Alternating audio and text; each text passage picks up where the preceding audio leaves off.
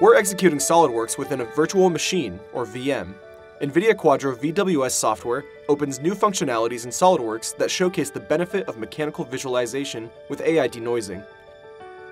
The NVIDIA T4 Tensor Core GPU delivers excellent performance for graphics and compute. You are ready to run your design and engineering software from a VM.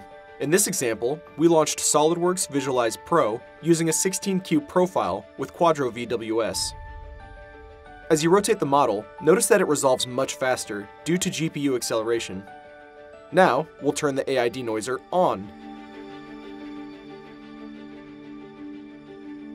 The image resolves much more quickly, enabling the user to work more efficiently. Let's turn the AI denoiser off again.